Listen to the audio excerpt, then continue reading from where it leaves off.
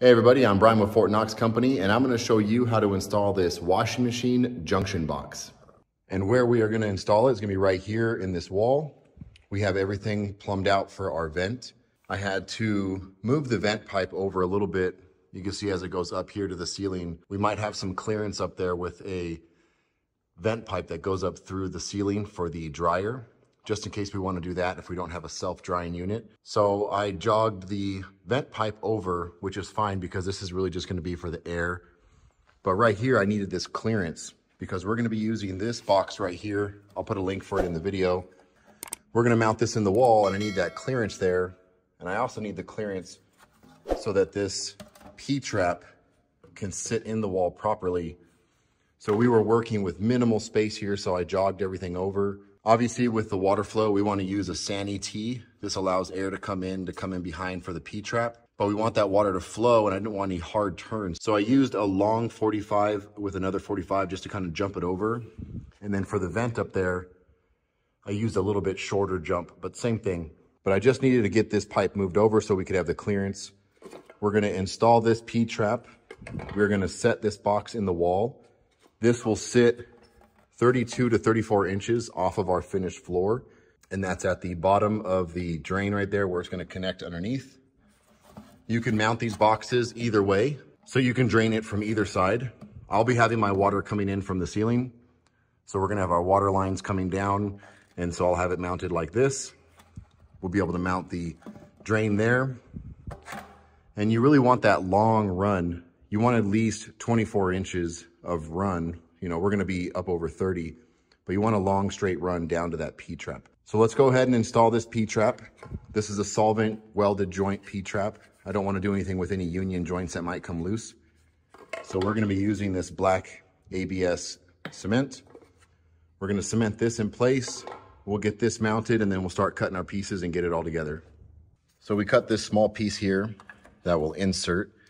Then we'll take the first part of the P-trap and put it on here. But before we actually put this in, it's always good to take uh, sandpaper, just kind of get off any burrs that might be on the inside of these pipes when you cut them. Those little burrs that you'll get sometimes from cutting these pipes, that is what will actually catch stuff inside the pipes as time goes on and you can have some problems down the road. The whole goal is to let that water flow smoothly through and anything that might be in the water, not give it anything to catch onto.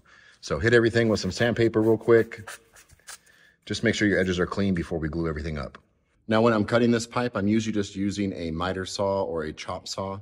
You'll see a lot of people use a sawzall or some type of handheld saw, but you never really get those straight cuts. So I prefer using something like a miter saw because I can pretty much guarantee that the cut is gonna be square and it really does matter here where I'm trying to get really good fitment and I wanna make sure that each of those pipes sit all the way down. So having a clean square cut edge is very important. You also wanna make sure that you hold these joints while you're gluing them because when you put the cement on there and you let go, they'll start to push back. That cement actually dissolves a little bit of the plastic or the ABS and it will push back on itself. So if you read the instructions, it actually tells you to hold the pieces in place for about 30 seconds. Then we can let go and it won't push back on itself. Now it's not necessary to recess these brackets, but I did just take my router and remove a little bit of the wood here on the studs. That way it does not push on the back of the drywall when I go to hang the drywall. But again, not necessarily required. I just kind of took the extra step here.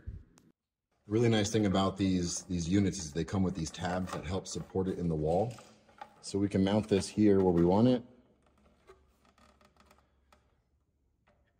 Secure it with a screw. We can then put this tab in here like this.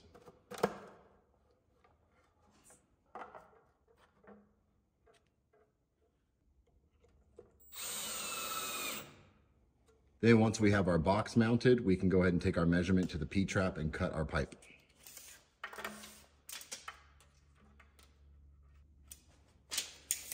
And that's 24 inches on the dot.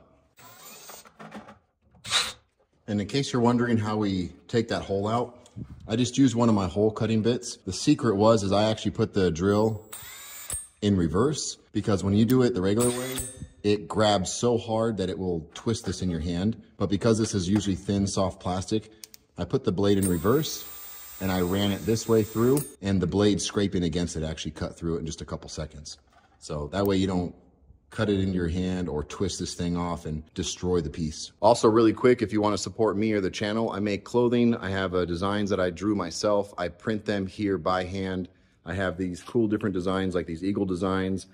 Everything has a flag on the sleeve. I got a few other designs that I'll show you guys and I wear in some of my other videos. But if you want to grab some gear, hit me up on my email. I should have a shop up soon, but I haven't had the time. I've been building this house. Uh, if you guys want to support, grab some gear, let me know, shoot me an email, we'll work it out. I appreciate it. So now as we're test fitting everything, you can see that we have about a two inch offset, which is why we're gonna use some of these 20 degree joints. Similar to what we did right here is we're just gonna jump it over and we'll jump it over two inches. So we'll do one here at the bottom, and then if we have to, we'll do a small piece in between, and then we'll line it up here depending on what we need for that spacing. But we have basically a two inch offset. And I also wanna make sure that wherever I set this P-trap, that it's not too far in or too far out so that I'm also not trying to bend this because this is only about an inch back and if I were to center it, it would be almost two inches on center right here. So I have this P-trap joint slightly turned so that we can be the proper depth into the wall. And then we're gonna jog it over so that it lines up perfectly with the box.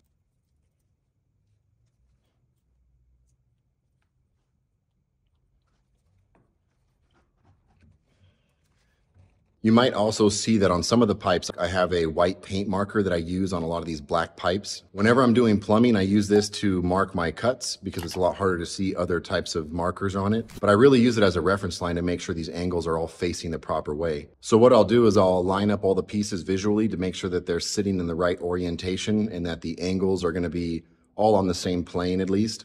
Um, and then if I have any special twists or turns and I got it all roughed in, or like when I dry fit things and I have everything sitting right where I want it, I'll go on there with that white paint marker or like a silver Sharpie. That works really good. And I'll make reference lines across those edges so that when I do go to glue everything back up, I can put the glue on there, seat everything properly, and then quickly find my reference marks and have everything lined up so that it sits the same way when it was dry fitted. So because I am going to have to jog the pipe over a little bit, I have my 20 degree right there with a little bit of a straight. That way I have some straight flow, but I need to figure out what that distance is. I knew it wasn't gonna be completely butted up. So what I'm doing is I'm holding this in place so I have that proper offset and then I can kind of hold that and align it to see exactly how far and then I can measure between those two pieces and I can cut that splice. Looks like we're gonna be at three and a half inches.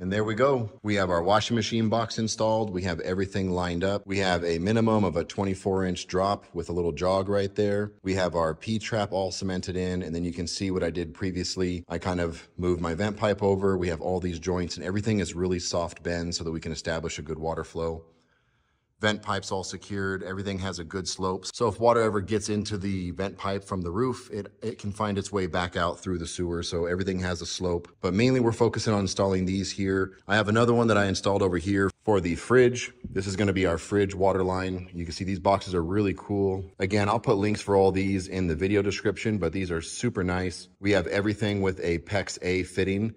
This is the PEX A expansion. Try to stay away from the crimping ones. That is PEX B. PEX A is a lot better product. You don't have any restrictions in water flow. So you can buy these kits that come in PEX A or PEX B ready. We have our water hammer arresters here. Again, these boxes can be installed either orientation. I have my water lines coming in from the ceiling, so I have everything sitting in this way. And you can also cement these in here too if you want to, but we're gonna have that drain line that goes deep in. If for whatever reason you wanna pull this apart, you may, you may not want to cement that, but you can glue this in as well once you have everything sitting the way that you want. And as you can see here, we are building a whole entire house. It's a casita. It's kind of like a small house. We have plumbing, bathrooms, gas, full kitchen, everything, all the finishes in the bathroom, installing new windows, all that stuff. I'll even be doing the drywall, the insulation, and everything finish. So if you're interested in any of that kind of stuff, make sure that you like and subscribe to the channel because I'll be walking you through every step of all these different processes as I go through them, which will be within the next couple months. I'll be having these videos coming out weekly and I'll be showing you step by step everything that I'm doing so that you can do it yourself, whether it's new construction or renovations. The process is essentially the same. I'll be able to show you inside the walls what it looks like. So if you are going to open something up, you know what to expect. But if you are interested in any of that, make sure you subscribe and follow along. If you have any questions, make sure you leave them in the comments. I'm really good at getting back to those. But once again, thank you all for watching. I appreciate it, and I'll see you on the next build.